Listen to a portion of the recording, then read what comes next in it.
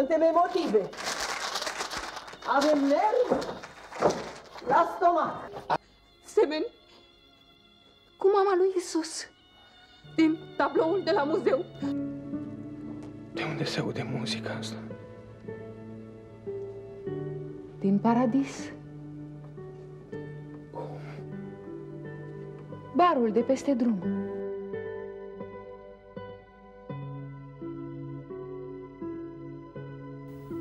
Laura duce o viață numai a ei.